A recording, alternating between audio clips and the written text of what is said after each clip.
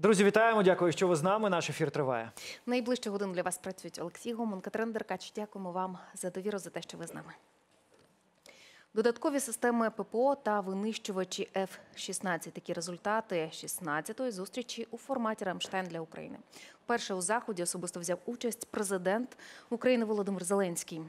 Наша держава отримала фінансову та військову допомогу від країн-партнерів.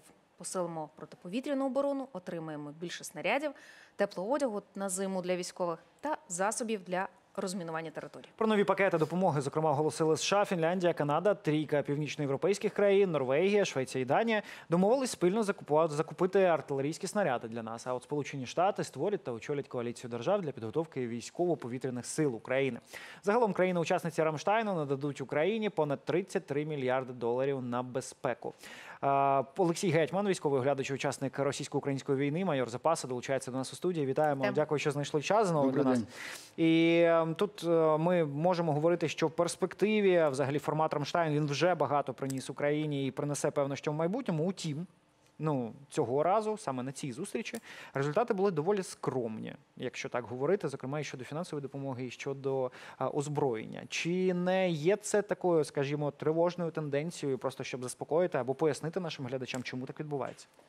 Ні, ну е, тривожної тенденції немає. Е, Те е, озброєння і те фінансування, яке нам передали, нам вистачить так, як ми використовуємо до кінця року, десь до квітня наступного року. Е, Новітня допомога фінансова. Ну, треба розуміти, фінансова допомога це як допомога, в тому числі зброя, яка теж рахується як фінансова допомога. По великому рахунку, тому будуть прийняті окремі рішення. Е, Зараз розглядається питання про е, постачання ще не менше 2 мільярдів доларів для допомоги Україні. І пакетно хочуть ну, президент Байден пропонує Конгресу, і е, обидві партії, і республіканці, і демократи, начебто не проти, проголосувати пакетно е, 100 мільйонів мільярдів доларів е, для допомоги Україні і Ізраїлю одночасно. Як- це буде розподілятися між собою, ці 100 мільйор- мільярдів? е, Ну, навіть якщо половина на половину, то це вже дуже суттєва допомога. Хоча я впевнений, і ізраїльтяни так кажуть, що е, більше все ж таки фінансування потребує Україна, ну бо в нас більш масштабна війна, і нам, звісно, більш потрібна і зброя, і. Пане далі. оцей єдиний пакет, так е, єдиний пакет, який має забезпечити потреб- потреби аж до наступних президентських виборів у Сполучених Штатах. Це рік залишається приблизно. Нам так. Да, ви вважаєте, що цього нам це так краще, ніж кілька пакетів, можливо, з меншими сумами. От Ну, пакет же не одразу передадуть. Його, його будуть як ці мільйон снарядів. Це буде поступово, він буде реалізовуватись. Просто мільярд, ви знаєте, ми так мільйон мільярд. Е, не всі розуміють, наскільки це велика сума мільярд. Щоб, щоб так візуалізувати, якщо взяти мільйон секунд, то це буде 11 днів. Якщо взяти мільярд секунд, то це буде 32 роки. Тобто е, мільярд це дуже багато. Ми так мільйон, ні, мільярд. ну, в контексті війни, тут же ж ми по-іншому міряємо. Мільярд, ще раз, мільярд це тисяча мільйонів. Нам, от ми кажемо, 200 мільйонів нормально, а мільярд це, ну люди так з з математикою трошечки. Я розумію. Мільярд це тисяча мільйонів. Ще раз, мільярд секунд це 32 роки. Мільйон секунд це 11 днів. Ну от, от і все. Погрались трішки в математику. Давайте приєднаємо до нашої розмови Станіслава Жліховського, кандидата політичних наук, експерта міжнародника. Пане Вітаємо. Станіслав, вітаємо вас. Вітаю студія. Власне, для початку давайте е, дамо оцінку. Вас попросимо дати оцінку цієї 16-ї зустрічі в рамках Рамштайну і те, наскільки вона результативна була, що вас можливо вразило, і те, що е, на ній вперше е, побував президент України Володимир Зеленський, це теж певну знаковість має. Прошу. Ну дійсно у Брюсселі відбулося 16 засідання в форматі Рамштайн, до якого входить близько 50 країн на чолі зі Сполученими Штатами Америки. І я теж е, поділяю е, це, що дуже важливо, що вперше цей е, захід відвідав президент України Володимир Зеленський. Він мав можливість комунікувати з представниками країн-членів Північно-Атлантичного альянсу, а також інших держав, які увійшли до цього формату.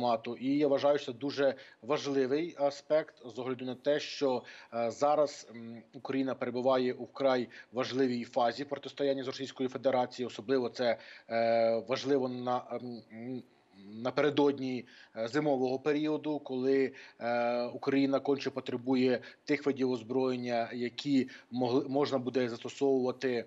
У більш складних е, погодних умовах, і також е, тут варто розуміти, що Багато йшлося е, на цих зустрічах про по- протиповітряну оборону, а це теж важливо перед зимо е, перед зимовим е, періодом, враховуючи те, що е, є дуже велика ймовірність, що Кремль е, знову почне атакувати е, критичну інфраструктуру України, включаючи її енергетичний сектор. І задля того, щоб е, Україна не поринула у новий суцільний блекаут, щоб могла б держава е, функціонувати і надалі боротися з російською агресією. Дуже важливо, щоб ми отримали е, саме. Е, Протиповітряний та протиракетний щит, який зміг би власне захистити територію нашої держави. Е, Звичайно, е, тут можна багато е, шукати і плюсів, і мінусів, які були е, з огляду на ті рішення, які були прийняті е, у Брюсселі. Але на мій погляд, це дуже важливо, що ця зустріч таки відбулася, особливо в контексті того, що зараз дуже є е, е, вразливою е, геополітична безпекова ситуація, і тут я перше за все варто. е, Згадати про те, що е, в Ізраїлі відбувається е, новий спалах конфлікту, і це звичайно е, може негативно вплинути е, на допомогу Україні. І дуже важливо, що наші союзники е, вирішили довести, що це не так. Ну і також ми повинні е, розуміти, що в такому ключовому союзнику України, як Сполучені Штати Америки, відбуваються свої внутрішньополітичні процеси. І зараз також там е, допомога України дещо поставлена на паузу, особливо в контексті прийняття нового бюджету е, е, Конгресом США. Ну і є інших ще багато викликів. Тому добре, що зустріч відбулася. Що Ні, е, що відбувалося, багато- що відбулося добре, пане Станіславе. Ви може допоможете розібратися, навіщо туди, з якою метою і як е, взагалі попливало те, що там був присутній присутній Володимир Зеленський. Так, це зустріч на рівні міністрів оборони. З першого погляду, ніби не масштаб президента. Я думаю, що з огляду на важливість, про яку тільки що говорив, е, це було це рішення сприймалося, е, скажімо, буквально в останній е, час, адже ніде не оголошувалося про те, що президент України буде особисто присутній. Дійсно, там мали бути присутні лише очільники оборонних відомств. Я думаю, що задля того, щоб посилити позицію України і донести. Е, е, Те, що відбувається на фронті, яке бачення України е, пе- переходу через цей зимовий період, і взагалі яке бачення перемоги над Російською Федерацією, і було вирішено те, що президент Володимир Зеленський особисто був присутній. А вже відповідно з огляду на те, що вже не можна було в короткий проміжок часу змінювати.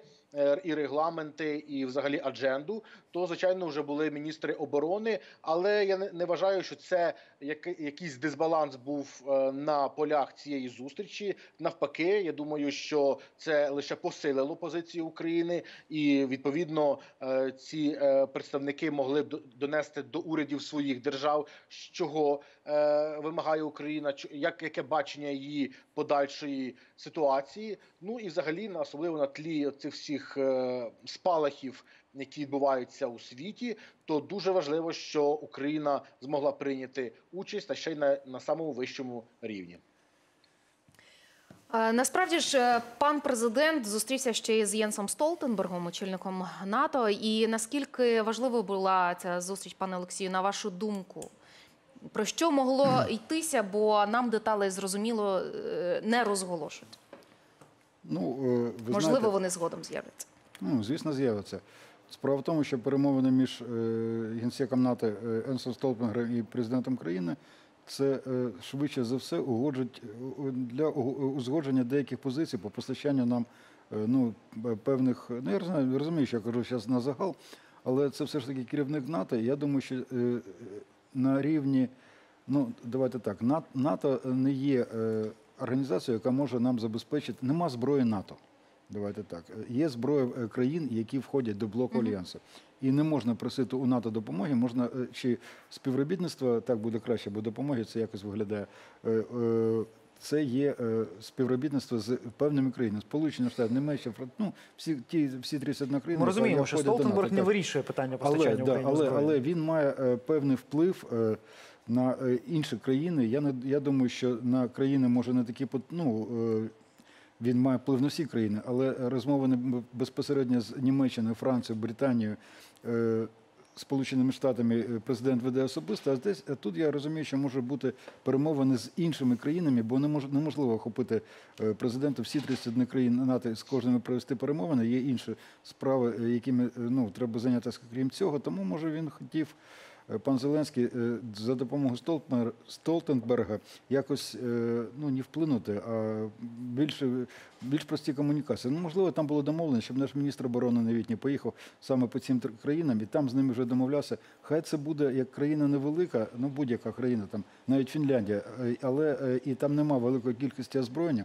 Але навіть ну Фінляндія, ну наприклад, Фінляндія це може бути якісь зімні речі. Там е, невелика Естонія можуть бути якісь теж певні ну речі. Тобто, все сама по собі одна якась позиція, вона не вирішує питання. А от в комплексі, коли це зенітний ракет, е, зенітно кулеметний комплекс, все, все от в комплексі воно дасть нам можливість е, ну, притриматися цю зиму від ракетних атак Російської Федерації, продовжувати наступальні дії, тримати оборону, де ворог намагається контратакувати. Це дуже, ви знаєте, це дуже добра зустріч. Треба використовувати будь-який майданчик для того, щоб постійно підтримувати от, е, цю, цей рівень уваги до нашої країни. Щоб е, ну люди, люди, це ж е, природно, люди втомлюються.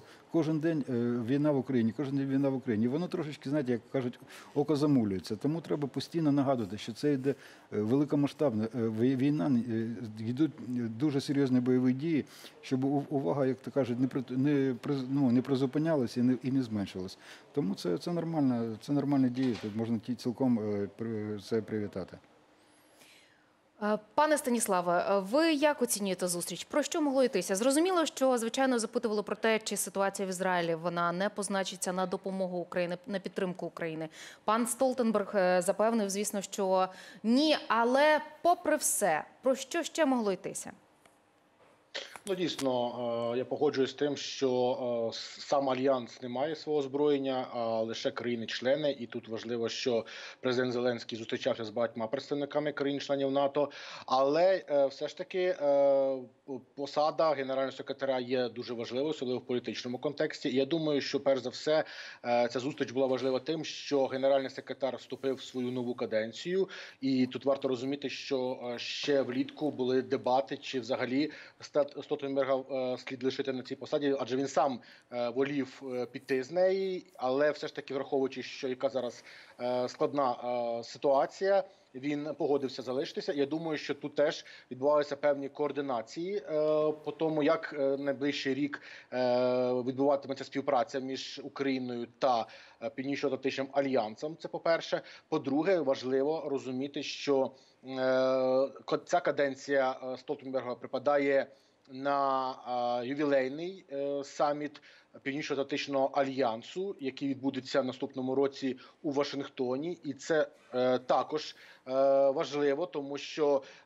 не виключається, що все таки там будуть прийняті більш уже важливіші рішення для Києва, зокрема і щодо його євроатлантичної інтеграції, аніж, наприклад, це було на саміті у Вільнюсі. Тому це теж варто враховувати.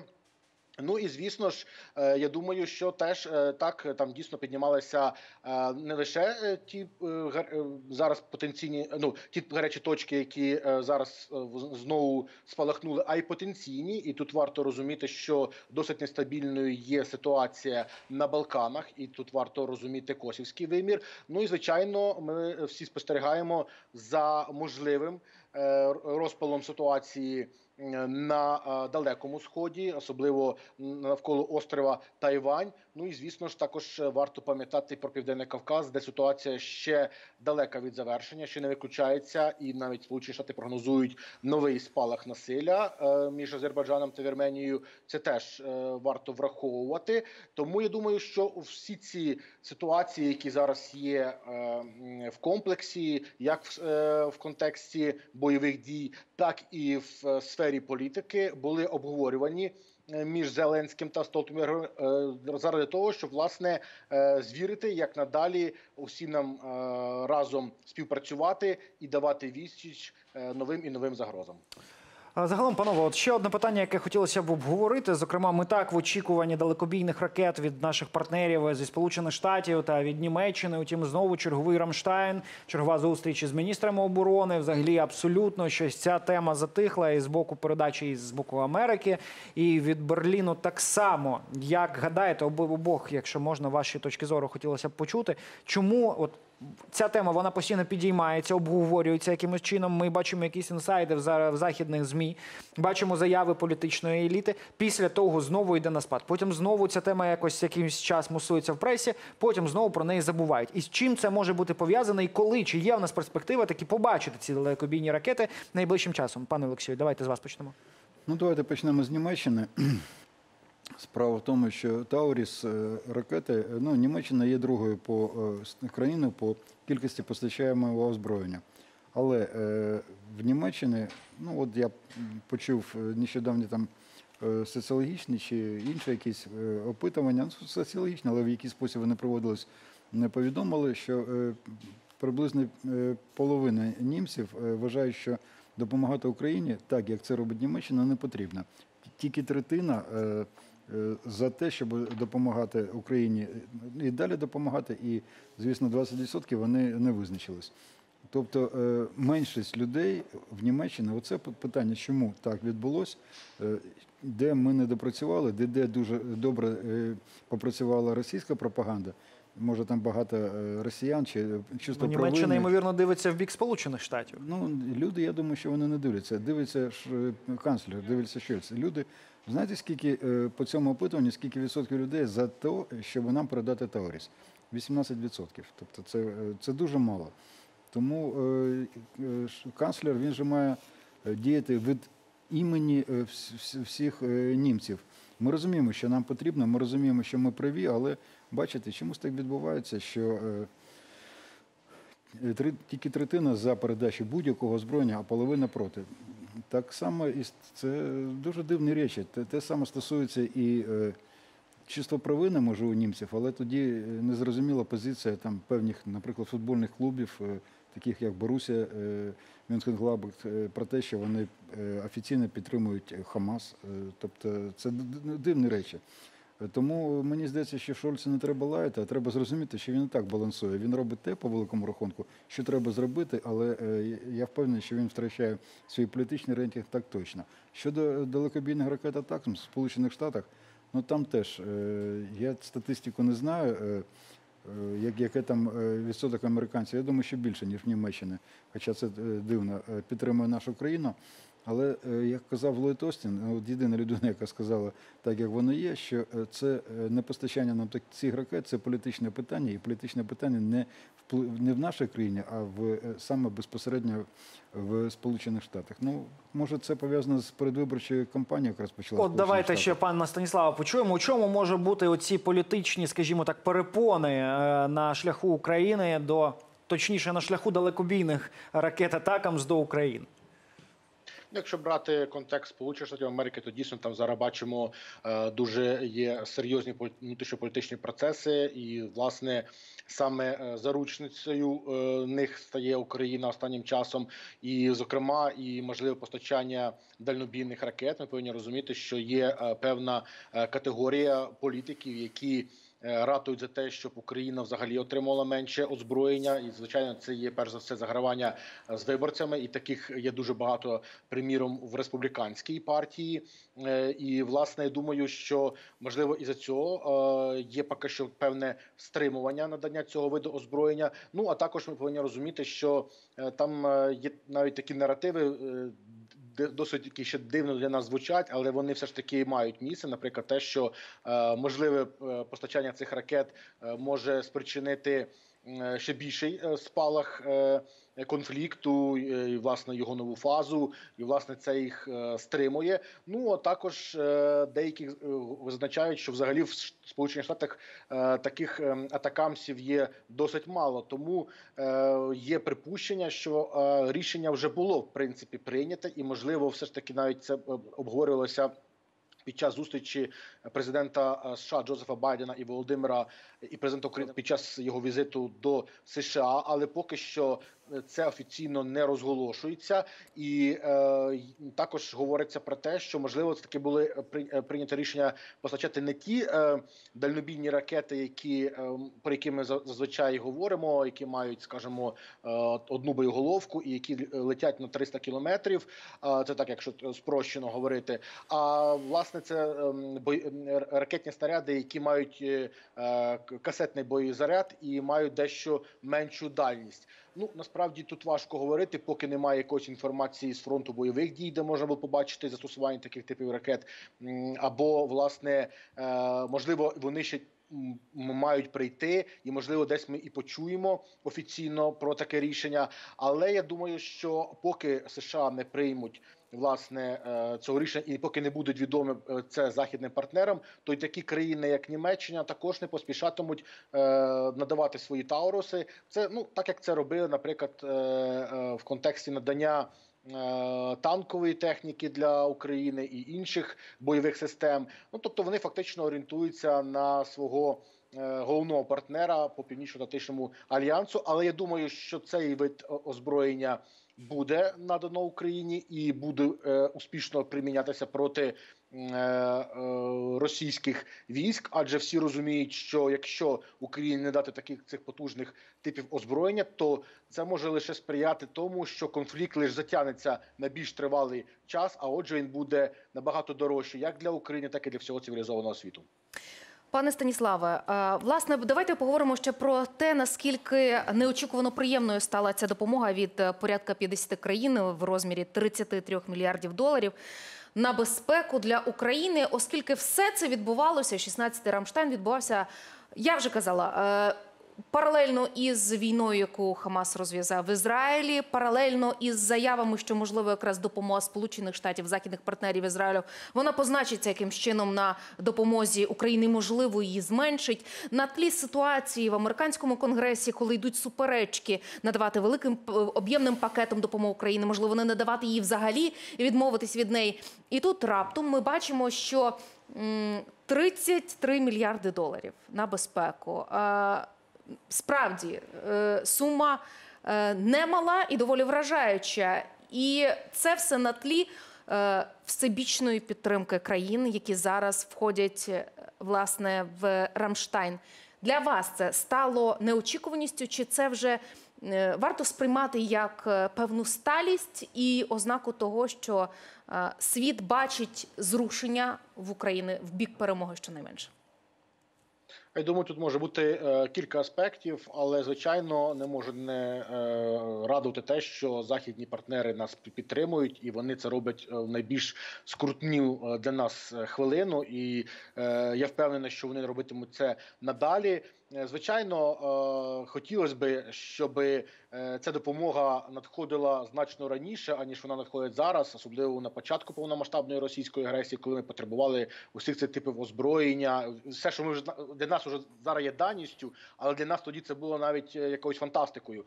Але е, краще пізно ніж ніколи. І я думаю, що наші е, партнери зробили висновки з цієї ситуації, і що не зараз, скажімо, вони буде будуть надавати.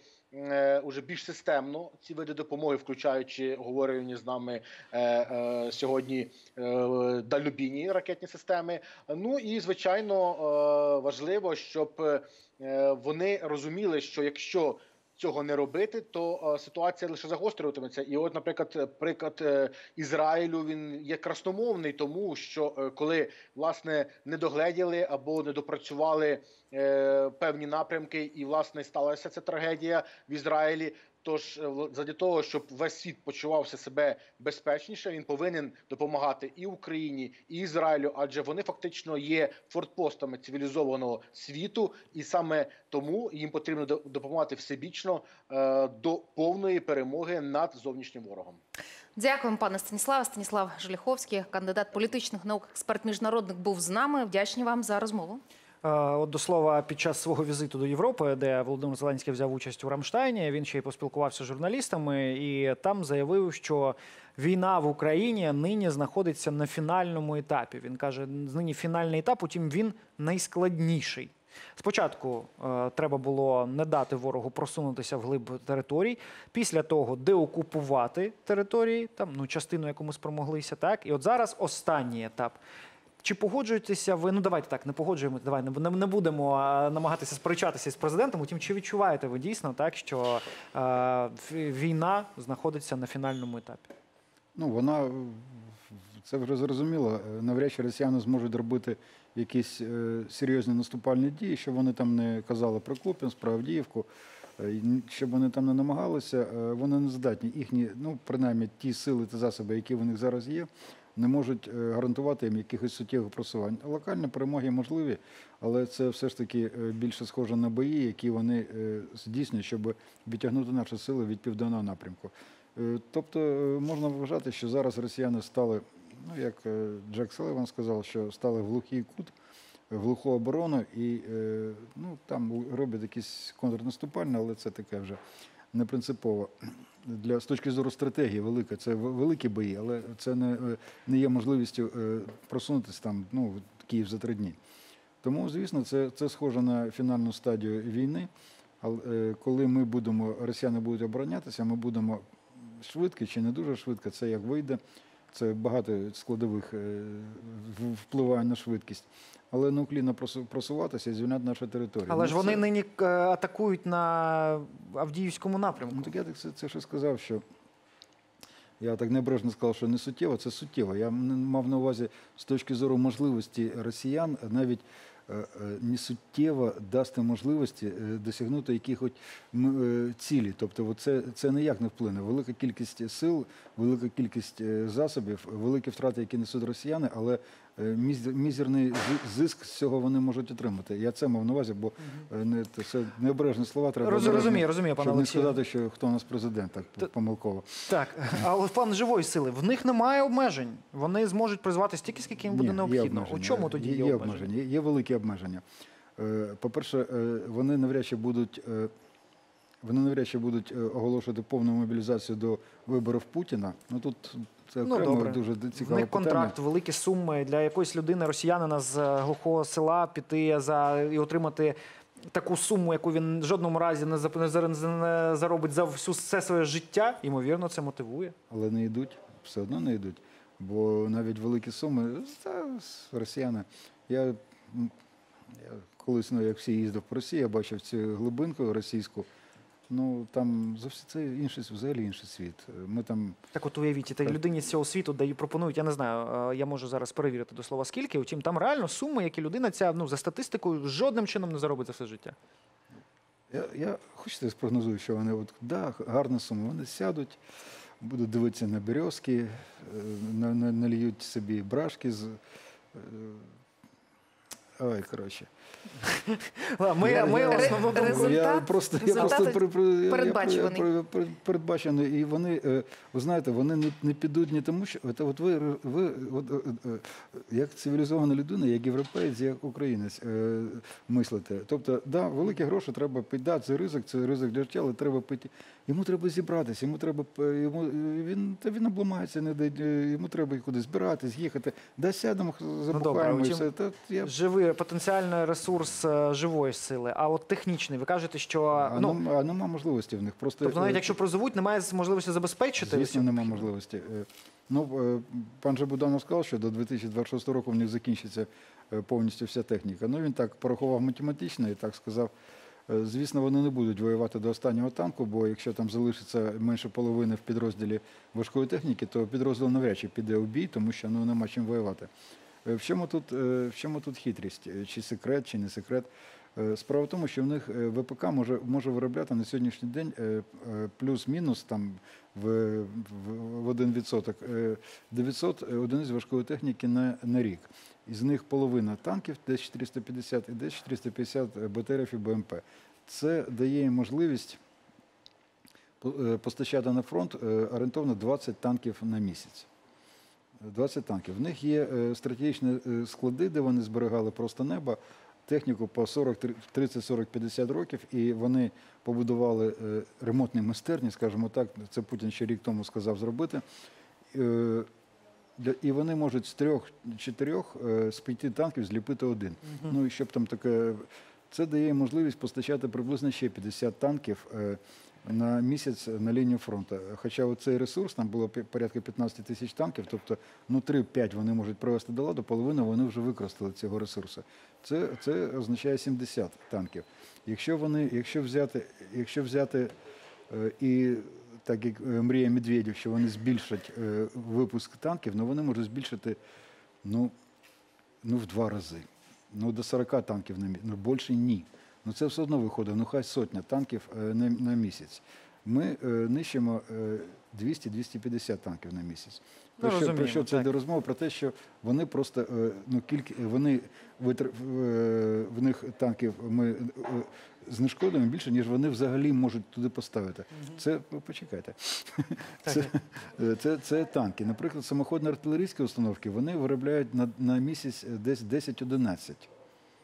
Ми е, приблизно стільки в день нищимо. Тому, якщо б вони не казали, про що б вони там розповідали, людей вони можуть там ще наражаються, у них там окрема філософія своя. А зброю ну, просто в них немає можливості. Е, Снарядів вони виробляють півтора мільйона, хоча фактично це мільйон, е, мільйон двісті. Це на 4 постріла, е, 400 пострілів в день.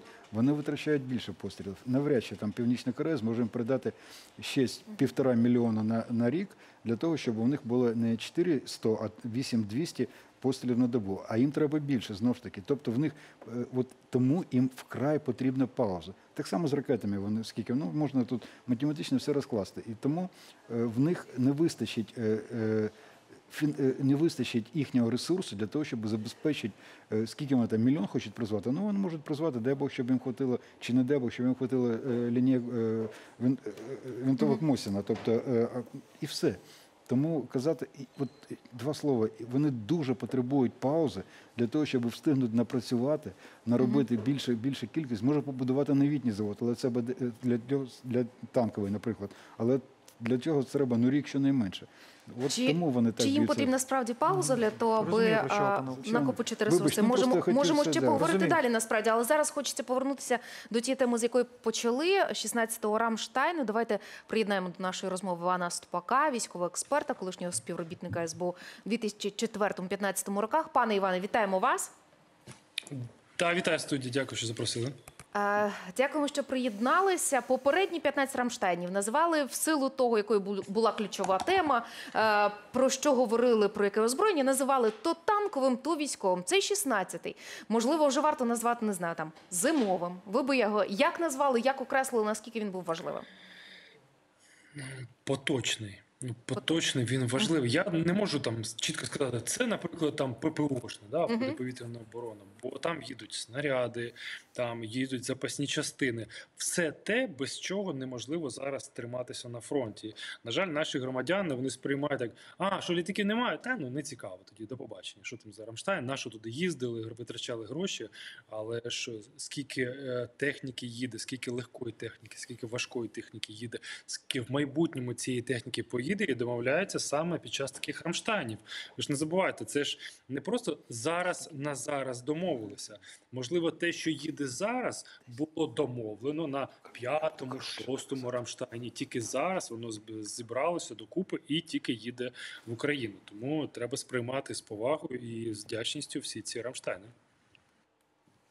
Ну.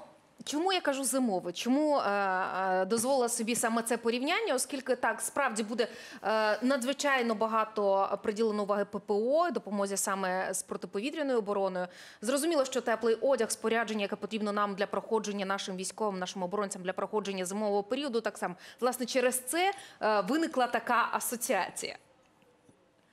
Ні, я розумію, що да, зима дійсно там нас нам передають до- додаткові ракети до комплексів протиповітряної оборони. Всі розуміють, що росіяни ж ну будуть як і минулого року, вони щось робити. Да? Навряд чи це ми можемо 100%, зміркувати з вами. Да, що можливо вони переконалися з минулого року, що ну нічого не працює, обстріл не працює, тому не треба. Їх робити. Звичайно, що вони будуть робити. Єдине питання: наскільки інтенсивно, наскільки вітієвато, наскільки е, розширено по географії, по номенклатурі, чи це буде тільки електрична, теплова е, генерація, чи це будуть там, наприклад, продукти харчування, да, наприклад, елеватори з зерном. Будуть чи не будуть по всій території України. Чи спробують вони зробити штучний голод для українців? Як варіант? Чому б ні? Що їм заважає зробити? Без світла так, а без хліба. Так само вони можуть зробити. І тут, е, бачите, нам передають такий не то ж експериментальний, а новий виріб. Це ем, Паладін Терахок, це шахедобійка, його вже назвали. Така платформа з автоматичною гарматою. 2022 року виробництва. Ну, дуже цікава річ. Я думаю, що вона себе дуже дуже гарно покажуть. Ну, подивимось, пане Іване, ще хотілося б, щоб е, ви прокоментували заяву воєнного злочинця Путіна. Його запитали, як там е, справи з українським контрнаступом. Він сказав, мовляв, що він там захлинувся. Утім, ми готуємося до нових наступальних дій з боку України. Е, По-перше, як може готуватися ворог? Ну і про результати, як оцінює принаймні публічно Кремль про, от, про ці заяви щодо української наступальної операції. А я вам поясню, чому такі речі з'явилися. А Путін, коли доповідають там щоденно, там по декілька разів на день, йому ж приносять всі ці доповіді виключно в паперовому вигляді і виключно розміром півтора аркушу А- А4. Да? І в кінці такої доповіді, неважливо, хто це приніс, це контрозвідка принесла, це розвідка. Або там внутрішньополітичний блок Кремля, вони завжди в кінці а, щось пропонують. Да? Там прогноз розвитку ситуації, да? або пропозиції, там що треба робити щоб не просто там сидів цей директор, диктатор вгадував, а йому вже дають якісь пропозиції. Так само з прогнозом. Це може бути прогноз, там, якщо ситуація дуже гаряча, то там розвиток там 24-72 години. Якщо ситуація там довго тривала, то можливо там тиждень, два, три, можливо, і три, два місяці. От можливо, коли ми принесли цю доповідь про український наступ, е, одним з прогнозів був, що українці будуть пробувати рухатися далі. І він це він це просто озвучив, що на цьому не закінчується. Він це розуміє. Але як і завжди, український контрнаступ провалився повністю. Оце він цю мантру повторює з самого першого дня нашого просування. А от ця підготовка до, як він каже, нових наступальних дій з боку України, з боку українських сил оборони, так у чому вона може полягатися? Ми насправді бачили, так ну що суттєво підготувалися до української наступальної операції а, окупанти на деяких напрямках, і от ці процеси окопування, там побудови цих бліндажів бетонних, а, мінування, воно постійно триває. Тобто, якщо а, ну чи вони, наприклад, там побудували кілька цих ліній оборони, ну там да лінії Соровікіна, оці е, м- Утім, а, чи відбувається оця підготовка постійно? Так, от про це хотілося б. Ну, ми не знаємо достеменно. Це тільки наша розвідка знає, що там відбувається, але бачили вже такі пафосні звіти, що вони випустили декілька нових цих е, машин земледілля. Да, це мін, ну, це автомобілі, які е, мінують дистанційну територію. Вони так, в буквальному сенсі так дуже просто. Вони розкидують міни е, там навколо себе. Єдине, я не можу сказати, е, м, там чи це вони хаотично розкидують, чи там є якесь програмування умовне там. Одна, дві, дві, три, три, три, дві, одна, чотири міни, але вони дійсно мінуються в аварійному такому режимі. Намагаються ускладнити просування наших військових. Тобто вони над цим працюють. Людей підтягують. Ми бачимо за останні місяці. Два місяці на цьому півдні, да там, якщо раніше там згідно з мапою Deep State було там декілька підрозділів, то зараз треба збільшувати цю мапу Deep State, бо там просто кількість цих прямокутників, які відображають російські військові груповання, воно просто збільшилося. Мені здається, разів в п'ять, навіть. Панове, давайте поговоримо про те, а, насправді, якою буде. а, Якою буде тактика ворога а, найближчим часом? Що ми будемо спостерігати чим ближче до зими? А, Пане Олексію, що це буде? На яких, на яких, на яких Ні, до чого ділянках? готуватися, в принципі, До чого українцям. готуватися? Так, от президент України, зокрема, повідомляв у повітряних силах, говорили про те, що ми для того, щоб захиститися, можемо орендувати системи протиповітряної оборони. Ну, Це, так, це взагалі це бомба просто. Бомба? А розкажіть, що- що ви Розкажіть маєте про на цю увазі? бомбу. Е, Ну, справа в тому, що нам не можуть перед- передавати велику кількість засобів протиповітряної оборони, в тому числі наші партнери, бо самим пот- потрібно, вони теж е, певні нормативи мають виконувати, певні недоторканні запаси. Ну і я думаю, що там буде проблема всередині цих країн, чому ми передали все. ж. А здати в оренду можна. Тобто просто передали тимчасово. Ми ж. е, Якщо знищити те, що передали, то ми передамо те, що передали раніше, е, вже, як то кажуть, безвозмізно. Тому, е, Після перемоги. Після перемоги, звісно, Е, на сьогоднішній день е, е, я впевнений, що були домовленості про те, що якщо е, буде, борони Боже, якийсь напад е, повітряний розпочнеться на ці країни, ну вони мінімум залишили собі е, ППО, щоб відбити принаймні перший, перший нальот. А якщо треба буде, то ми зобов'язалися, так розумію, повернути їм це, ці засоби е, е, ну, як, по- на першу вимогу. Але що це означає? Це означає, що це знімає напругу всередині цих суспільств. Це не передають, це просто дають е, покористуватися. Ну це виглядає, знаєте, так. Я чесно, я перший раз, оскільки я скільки я був військовим, стикався з цим, щоб передавати в оренду зброю. Ну це Креативний підхід. Пане? Іване, а це може бути, скажімо так, е, певним виходом для. Ну е, я я, я розумію, що певно ракета атакамс важко взяти в оренду. Утім, е, все ж таки, так, оця стратегія, наскільки вона може бути успішною не лише з ППО, наприклад. Давай, давайте от пофантазуємо. Дивіться, ми багато чого просимо. Дайте нам, дайте нам безкоштовно. Але ж ну, ми забуваємо, скільки вартує ця, техніка. Це ж там і 10 мільйонів доларів, і 200 мільйонів доларів, і можливо 9 мільярдів доларів, як Петріот вартує. Тобто це великі гроші, великі кошти. За них заплатили іноземні країни. Вони ж теж ну давайте уявимо собі, що ви купили автомобіль, а потім безкоштовно передаєте якомусь своєму там бідному родичу. Ну умовно. Ну дуже важко передавати. Один раз так, ну другий, третій це дуже дуже напряжно. Але коли є пропозиція, окей, не передавайте нам безкоштовно, дайте нам в оренду, ми готові виплачувати певні суми, е, а потім після війни повернемо. Тоді і політично приймається дуже е, спокійно це рішення. Тобто, а ну ми ж не, не даруємо, нам вже повернуть потім після війни. Ну якщо воно не звісно не пошкодиться, якщо воно не буде знищено, ми будемо щось на цьому заробляти. Зрозуміло, там якась номінальна сума, але продати цю передачу ну, в лапках продати своєму населенню, свої позиції, то це буде більш нормально сприйнято. І дивіться, це ж західні країни, це країни капіталістичного е, такого погляду на економіку. Якщо ти просиш безкоштовно, ти отримаєш стільки, небагато. А якщо ти пропонуєш, а я куплю у вас, о. Тоді відкриваються тобі нові, зовсім нові обсяги обрії. Да, там можна купити і це, і це, і це. Це як додаток. Да? Ти е, завантажуєш безкоштовну версію, а якщо ти купляєш там, ну, за гроші більш розширену, то ти отримаєш більше різних фішечок там в цьому, в, цій, в цьому додатку і більше сервісів. Так само і з цим озброєнням, тому я не бачу якихось там великих перепон на цю тему. Єдине, що правильно це викласти юридично. Пане Іване, а десь подібний досвід вже використовувався, коли, наприклад, ті ж самі системи ППО в якихось країнах теж бралися в оренду чи надавалися? Чи це таке новітнє ноу-хау і пропозиція від України? На, жаль, не готовий сказати, не маю такої Мгм. інформації, але ще раз, взяти в оренду та придбати це набагато краще, ніж просити. Ще раз, нам будуть давати ну, дріб'язок да, з того, що ми просимо. А коли ми кажемо, ми готові купити, окей, зараз ваші е, глядачі скажуть, так у нас же грошей нема. Я пропоную, окей, можна взяти в кредит, окей, можна влізати в. Зараз питання виживання країни. Про борги то вже потім будемо розбиратися.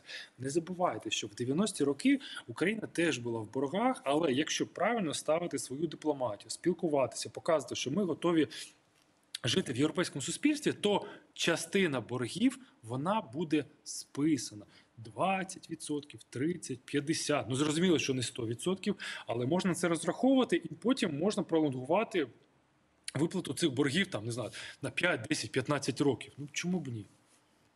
Дякуємо, Дякуємо. дякуємо. Пофантазували. От і пофантазували. Дякую. Сподіваємося, що фантазії а, можуть і втілитися в життя, особливо коли вони справді є так а, чудово розтлумаченими. Іван Стопак, військовий експерт, колишній співробітник е, Служби безпеки України в 2004-2015 роках, був з нами. Вдячні вам за розмову. Надалі поговоримо про те, на яких напрямках ще наступають е, окупанти. Зокрема, ми бачили серйозну ситуацію порівняно нещодавно на Куп'янському напрямку. Так будемо говорити про це далі. Утім, зараз повернутися хотів би все ж таки до Авдіївки. От а, я хочу зрозуміти, так от зараз а, там точаться такі бойові дії, що в нас в нашому ефірі розповідали військові, що, скажімо, там, наприклад, двох сонцепьоків в одному місці вони там не бачили, наприклад, жодного разу за ці півтора року війни. Що хоче зробити ворог е, із Авдіївкою? Це має стати, скажімо так, нова якась перемога в лапках, там як Бахмут намагалися продати е, росіянам. Так чи він має реально ну настільки стратегічне значення, що вони готові там покласти е, велику кількість людей? Адже я нагадаю, Авдіївка ну вона оборонялася з 2014 року, і тобто ну обороняти її там вже є певні умови для цього. Можете розказати так не лише про е, с- е, тактичні, так а про стратегічні плани на це місто окупантів. Ну, вони постійно хотіли це місто захопити. воно їм як кістка в горлі, тому що з цього плацдарму е, ми можемо е, вогневим артилерію контролювати по великому рахунку весь Донецьк. Тому щось суттєво зробити в Донецьку вони не можуть, не роблять. Ну, якийсь хаб зроб, е, тому що вони розуміють, що ну, все ж таки е, вогневий контроль зберігається. Ми не стріляємо по цивільних. е, По цивільних будівлях, по цивільному населенню, але таку можливість маємо. Якщо вони там щось почнуть будувати, а вони дуже хотіли би це зробити, то ми будемо це атакувати. По-друге, вони це можна розглядати як наш плацдарм для звільнення, е, якщо не е, всього Донецька, то ну одразу, то принаймні Горлівки, передмістя Донецька, втрата навіть частини цього міста для росіян це так само сакральна, як і втрата Криму. Тому вони, вони за це дуже хвилюються. Ну і е, ще одна причина це відволікти наші сили від наступальних дій на півдні. Ну і звісно, це напередодні виборів президента Путіна. У них там не вибори, а просто Дороговартісна бюрократія, я казав. Дороговартісна бюрократія, да, їм Спікер треба, їм Путіна. треба е, якусь. Ну, раніше там Ніколаю II треба була якась переможна війна в п'ятому році. Напали на Японію, а отримали е, по повній програмі, тому може і закінчилась династія Романових. А е, Путіну треба вже війну не розпочав. е, не Треба на цій війні хоч якісь перемоги е, показати виборцям, щоб якось е, все йде за планом, дає свою допомогу. І ось е, це, я думаю, було ну, може, головна ціль е, намагання е, захопити Авдіївку. Ви розумієте, він поставив вже завдання Путін. Ми про це чули до кінця року е, повністю е, захопити, що як він каже, вийти на кордони, адміністративні кордони Донецької Ну, ми це області. пам'ятаємо, що це було кілька дат вже Ну, е, от, призначено, поки не вдалося. Тепер до кінця року наступна Тому дата. це політичне, це політичне рішення, політичне, політичний наказ, не військовий наказ. Тому я думаю, що Авдіївка це політичний наказ, а не військовий. В чому різниця? Два слова. Е, Між політичним і військовим Е, військові вони не дивляться на політичну карту. Е, ну нам ну їм ну вже їм байдуже. Ми боремося за певні панівні висоти, певні те- що важливо для ведення Бога. Де там проходить адміністративний кордон по політичній карті, вз- взагалі немає значення. А якщо ставиться завдання саме на політичний вийти кордони, якісь межі, то це вже ну це дурня. Тобто з точки військової точки зору це може бути- безглуздя, але от йому треба для свого рейтингу, для якихось інших цілей. Він ну, от віддав такий наказ. Я так само думаю, відно на- наказ був політичний наказ захопити Авдіївку. Дякуємо, що допомогли розібратися. Дякуємо вам, Олексій Гетьман, військовий оглядач, учасник російсько-української війни, майор запасу, долучався до нас у студії. Вдячна Дякуємо, що як завжди знаходите для нас час.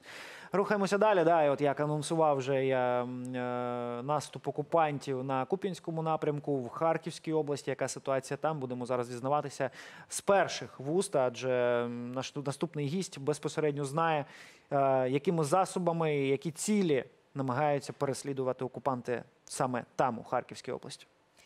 Отже, справді окупанти намагаються прорватися до Куп'янська. На цьому напрямку тривають важкі бої.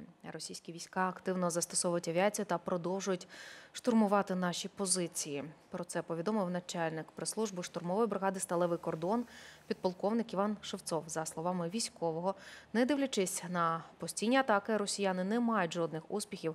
Українські сили оборони мали час підготуватися та створити якісні мінні загородження та протитанкові траншеї. Власне, з нами саме Іван Шевцов, начальник прес-служби штурмової бригади Сталевий кордон, підполковник. Пане Іване, вітаємо вас. Вітаю. Вітаємо. Е, Розкажіть, будь ласка, яка ситуація наразі на Куп'янському напрямку? Чи справді окупант настільки лютує там? Ну, За останні кілька днів ситуація суттєво не змінилась. Вона залишається досить напруженою. Ворог намагається вийти на вигідні вогневі рубежі, вийти на лівий берег річки Оскіл, захопити Куп'янськ, Куп'янськ-Вузловий, але так як ви вже і казали, поки що в нього нічого не виходить, і за допомогою наших сил оборони нічого і не вийде. У нас було досить багато часу закріпитись на даних позиціях, здійснити укріплення, мінно-інженерні загородження, протитанкові рви. І наразі сили оборони на даному напрямку тримаються. Чим, скажімо, там ем, особливість ведення бойових дій саме на тому напрямку? Чи відрізняється він від, наприклад, там от ми бачимо зараз дуже гаряче на Авдіївському напрямку? Зокрема, як наскільки я розумію, туди відтягнули певну частину сил окупанти а, з напрямку а, у Харківській області. Ну, Під час війни кожна ділянка це окрема історія. На кожній ділянці, звісно, є якісь відмінності. Що стосується Куп'янського напрямку, то за минулу добу в силами оборони відбито 15 атак ворога. Якщо буквально 3-4 дні тому ворог здійснював так звані м'ясні штурми великими групами осіб, то от за останні за минулу добу е, таких м'ясних штурмів е, ми не спостерігали. Е, Зменшилась кількість ем, військовослужбовців, які йдуть на штурм. Це до 10 військовослужбовців маленькими групами.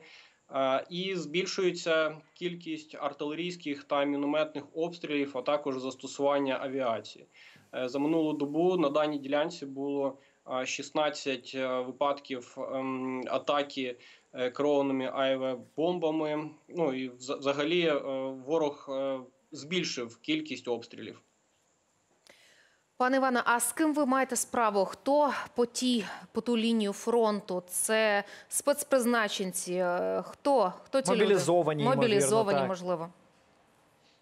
Ну, Ділянка досить велика і різноманітні військові формування знаходяться напроти нас. Це і перша армія, 20-та армія, і е, військовослужбовці так званих підрозділів е, зеків, зеків Шторм, Шторм Зет, е, також підрозділі Барс, і е, використовуються військовослужбовці мобілізовані з ЛНР і ДНР. Хто з них е, вирізняється чим? Чи ви спостерігаєте якісь особливості? Можливо, серед ЛНР, ДНР якась е, не знаю, особлива мотивація? Можливо, ні. Е, Особливої мотивації в них немає взагалі. Але от саме на ці м'ясні штурми зазвичай відправляють військовослужбовців Шторм, Шторм Зет, Барс і військовослужбовців з ЛНР, ДНР.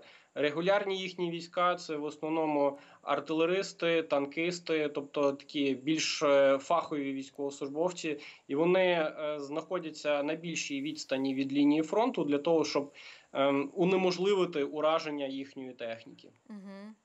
Пане Іване, хотілося б трошки поговорити про роботу саме бригади Сталевий кордон. Розуміємо, що там основу складають саме прикордонники. У чому специфіка роботи бригади? Скажімо так, може відкрити якісь особливості? Бо нашим глядачам, звісно, ми завжди з цікавістю слухаємо ось про такі тонкощі вашої героїчної роботи.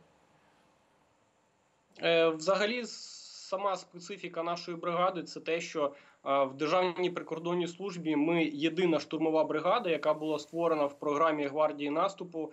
І вже понад 4 місяці ми знаходимося безпосередньо в зоні бойових дій на сході. Наші військовослужбовці вже приймали участь е, в Бахмуті, е, приймали участь в звільненні Кліщіївки. І активно зараз приймають участь в обороні саме на Куп'янсько-Лиманському напрямку. Відмінність від інших підрозділів Державної прикордонної служби в першу чергу це те, що ми маємо великий штат, е, ми маємо е, зовсім різне, е, різну техніку, різне озброєння, і сама наша така фішечка це те, що ми маємо свою артилерію. У нас є свої розрахунки РСЗВ, ми маємо свої гармати. І зараз саме завдяки артилерії ми маємо добрі просування і мали успіхи і на Кліщіївці, і на Куп'янському напрямку. Крім того, е, в порівнянні з іншими підрозділами у нас е, є цілі, е, цілі окремі підрозділи БП- БПЛА. Ми маємо на озброєнні і розвідувальні дрони, і ударні дрони, і дрони камікадзе. І на сьогодні це е, сама безпечна і сама результативна робота. Пане Іване, знаємо, що у лавах сталевого кордону бійці, які ми першими побачили ворога на різних ділянках е, е, кордону, ті, хто бронив Азовсталь, відстоював Лиманський напрямок, Бах- Бахмутський. Зрозуміло, що різні відтинки кордону і бої там вони відрізняються. Чи бачите ви цю різницю, в чому вона проявляється, в чому особливість ведення боїв на різних частинах кордону? Е, Взагалі, якщо брати не тільки е, різну ділянку кордону, а і різний проміжок часу. Е, Ті військовослужбовці, які почали воювати з початком повномасштабного вторгнення в 22-му році, значно відрізняються від тих, хто є зараз. Чому? Тому що у всіх вже є бойовий досвід, і навіть зараз ті бійці, які проходять службу у нас, ем, вони мають набагато більше навичків ведення бою, ніж е, просто коли ми їх навчали, е, коли у нас були якісь тренування. Тобто зараз повністю весь особовий склад і сталевого кордону це справжні фахівці. І в цьому вони відрізняються. А бої е, на інших ділянках, ну ще раз нагадаю, що кожна ділянка це окрема історія. На кожній ділянці, наприклад, е, до перебування в сталевому кордоні я проходив службу в Херсонському прикордонному загоні, і там ділянка і умови ведення бойових дій зовсім різні. Тобто зараз там підрозділи знаходяться по лінії річки Дніпро і ведуть бойові е, дії саме через річку. Тут е, сухопутна ділянка. Е, Тут е, приходиться вести дії в різних ем, і на різні ділянки місцевості, і звільняти населені пункти, і е, проводити штурмові дії. Тобто кожна ділянка вона якось по, по-інакшому відрізняється. Угу. Загалом можна сказати, що ну я розумію, кожен день ведення бойових дій проти окупантів, які намагаються забрати нашу свободу, за що ми до слова принагідно вдячні і висловлюємо свою вдячність всім силам оборони і вам, зокрема, за вашу роботу. В цілому, так, от е, чого вдалося навчитися, скажімо так, такого, чого не вчили під час просто підготовки військової, так. е, Е, які навички довелося опанувати за час повномасштабного вторгнення? От якщо так, от одразу що може на думку спадає? Е, Можливо, повторюся трошки, але саме головне, що ми навчилися, ми навчилися воювати, ми навчилися виживати. Е, Справжній, е, справжній боєць він буде тільки тоді, коли пройде через е, чи здобуде досвід бойових дій, коли він буде під обстрілами. Це те, чого не е, зможе е, ніяк боєць навчитись під час проведення якихось тренувань. Тобто, це досвід, який ми отримуємо кваліфікованих, потужних, сильних бійців саме тут на полі бою. Вони закалюються на полі бою. Вони вчаться діяти нестандартно в кожній різній ситуації приймати свої рішення. І е, в першу чергу це рішення, які забезпечують їхнє виживання, а також перемогу над ворогом. Ми використовуємо різні хитрощі, які допомагають нам подолати ворога. Пане Іване, як можна приєднатися до лав сталевого кордону, якими якостями має е, володіти боєць для того, щоб потрапити в ваші лави? Чи достатньо просто мотивації, чи треба що ще? Фізична підготовка тощо? Е, Зараз е, достатньо бажання і хорошої е, фізичної і хорошої фізичної підготовки, і достатньо бути здоровим. Якщо ці три складові є, то можна в принципі подати свою заявку, вступити до лав сталевого кордону. Поки що у нас особового складу достатньо, але ми Мгм. формуємо резерв. У нас працюють окремо е, пункти комплектування, тому кожен бажаючий може заповнити анкету. Е, Також інформація є на сайті адміністрації Державної прикордонної служби. Інформація є у нас на сторінці Facebook сталевого кордону. Е, Кожен бажаючий може подати заявку. Я думаю, що зараз лишились саме ті, е, хто зможе потрапити в наші лави. Максимально мотивовані, а решті ви навчите. А в чому Так. відмінність між різними гвардіями наступу? Так, от ми бачимо, що можна, наприклад, до вас подати заявку, можна до інших бригад. У чому, чому от різниця, так? відмінності? Мгм. Так. Е, В принципі, е, відмінність лише в тому, що різні е, в- роди військ. Е, Наприклад, ми це Державна прикордонна служба, а інші підрозділи це МВС, це Національна гвардія. Але в принципі задача у всіх одна. У нас в рамках гвардії наступу це звільнити окуповані території України і вийти на кордони 91-го Тут не маємо сумнівів. Просто я думаю, якщо людина хоче долучитися до гвардії наступу, наприклад, і перед нею є вибір, наприклад, потрапити до Держприкордонслужби, до Міністерства внутрішніх справ, да, бо там теж є свої бригади, тощо до збройних сил. От е, тут на що треба зважити, і чи в принципі різниці особливої немає? По великому рахунку різниці немає. Головне бажання. Якщо у людини є досвід, наприклад, в попередньому службі в прикордонній службі, то звісно вона піде в сталеву кордону. Якщо людина е, в, по, в молодості проходила службу в Нацгвардії, то е, більш вірогідно, що вона подасть заявку до підрозділів Національної гвардії або так само за аналогією до підрозділів Міністерства внутрішніх Зрозуміли справ. вас.